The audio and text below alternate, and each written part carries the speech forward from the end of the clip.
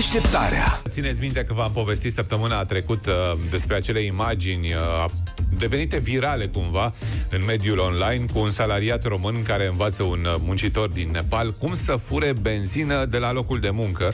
Imaginile fusese înregistrate la Galați și gălățeanul nostru explică procedura asiaticului în timp ce transferă benzina furată în bidoane de plastic. No problem, little benzin este concluzia gălățeanului. Uh, incidentul, Rușine. da, incidentul a avut loc chiar la societatea care are grijă de spațiile verzi din uh, Galați. Cum spuneam, uh, muncitorul nostru îi explică unui coleg de muncă din Nepal cum poate fura benzina. Asta a fost primul lucru pe care l-a învățat el pe muncitorul nepalez. Săracul nepalez o să ducă acasă să apucă de furat, nu o să știe ce a lovit, o să vezi că o să fie o epidemie. Ăștia prin Nepal au benzină, au petrol. Dar uh, nu, nu știu dacă au petrol, nu, nu au petrol, era și la ei o sărăcie. Dar eu când, uh, după ce ai dat tu știrea aia, eu am văzut pe internet un film Așa. cu, pe, pe YouTube am văzut cu o balerină care trăiește aici în România și a povestit ce a învățat ea de când e o englezoaică stabilită în România. Aha. Și și ea a învățat câteva lucruri și, mă rog, n-a învățat-o nimeni să fure. Bine, n-am văzut filmul până la capăt, care vreo 20 de minute. Poate a învățat-o cineva să fure, da. Uh, dar uh, zicea așa că, uh, de exemplu, a învățat că în românește mulțumește în franceză.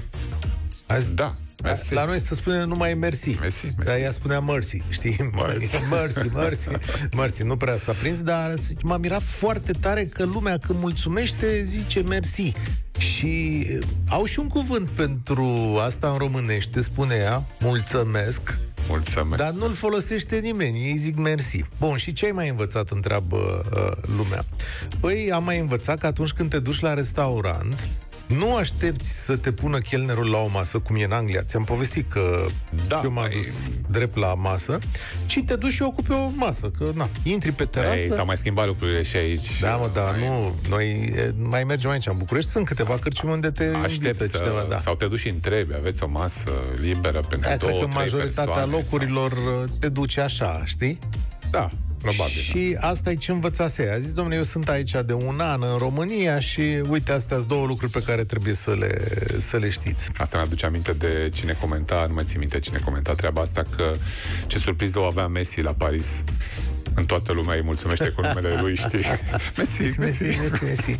Și a mai învățat doamna aceasta că în România poți folosi aerul condiționat non-stop. Așa Ceea ce facem? în- Da, ceea ce în Anglia nu e necesar. Dar sunt da. lucruri mult mai frumoase pe care doamna le putea învăța de Ia, la noi. zi-mi nu știu. tu, hai. Păi, uh, ce, uite, ce să bea, ce să mănânce, știi, ca să... Aia, sunt sigur că am învățat. Sarma. Adică cum să joace uh, muzica populară din diverse zone, dacă tot e balerină, nu?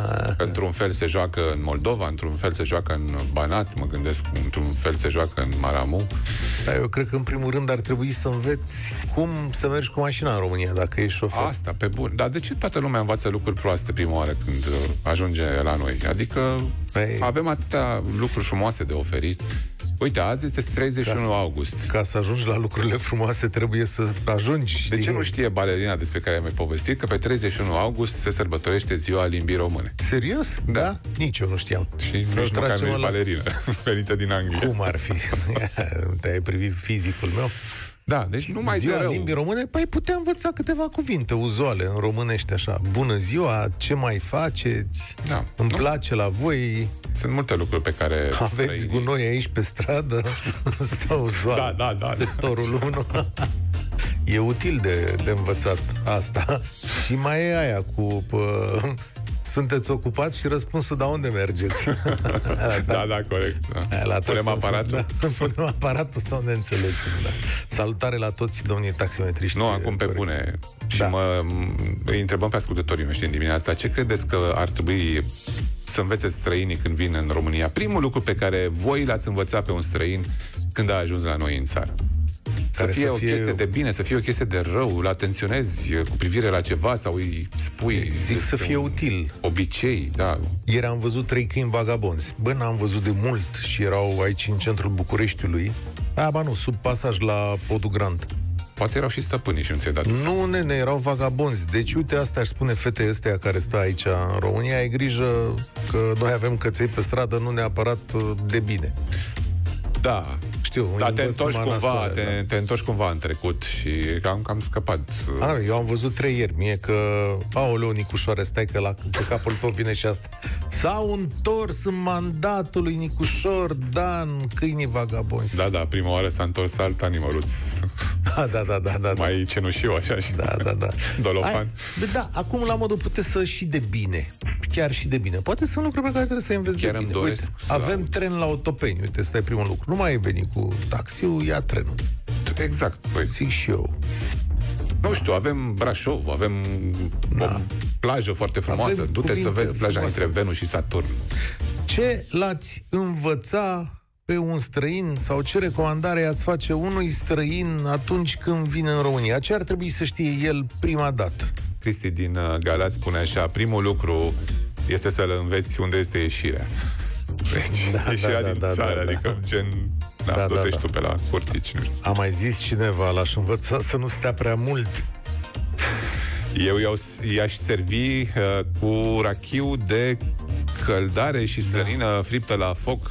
Ce este rachiul de căldare? Că ne-ați pus pe gânduri. Să știți, să știți, da. Adică Suntem din străini căl... de subiectul ăsta. Deci... Din căldare, asta am înțeles, că vin de la vasului cum ar fi. Deci, rachiu din căldare, dar de căldare... Hm. L-aș învăța așa, cum e cu Dracula.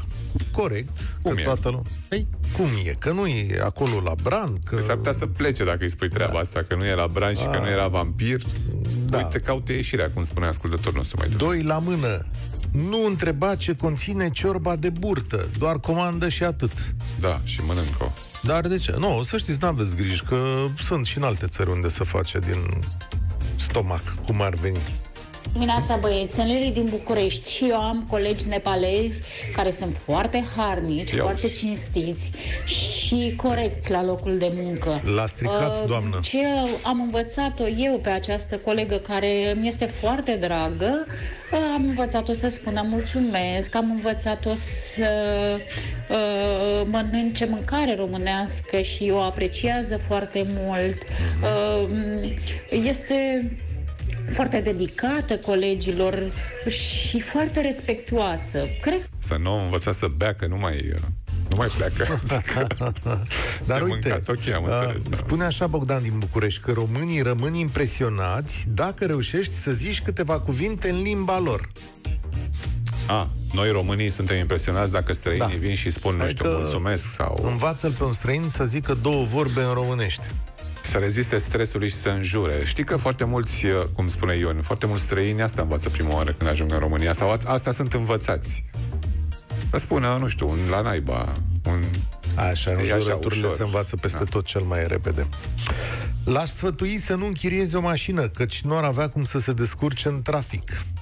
Ea spune să se informeze foarte bine asupra transportului în comun, pentru că la noi nu e ca la ei ne scrie Iulia.